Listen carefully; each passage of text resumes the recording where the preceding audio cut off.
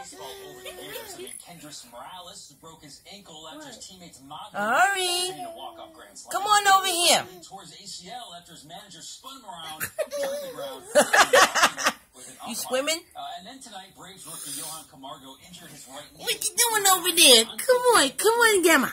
Come on. Look, Come on. Are you coming? two-game series against the Phillies, and Camargo gets stuck in the turf, extends his leg, and collapses to the ground. Time to lay down for a little while. No ligament damage, but he's headed to the disabled list Come on, Juicy Fruit. Expect Dansby Swanson to be called up tomorrow from AAA Gwinnett. Look at that you, KK. The Braves get on the board when Freddie Freeman kicks in and launches uh, Oh. right. That's his 21st of the season.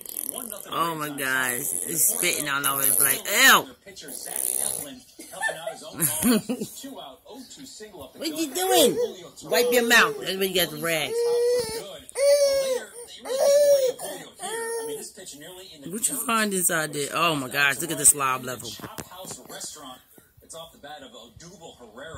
Braves fall 5-2 as Julio Teheran drops a 1-8 I guess we're not going nowhere. The feet look like it's going somewhere. Little League team held on to it yet another game. You're a good swimmer. Little League World Series, they beat Tennessee 4-1 today. So where you going? North Carolina tomorrow with the Give me a- Peachtree City heading on to the Little League World Series.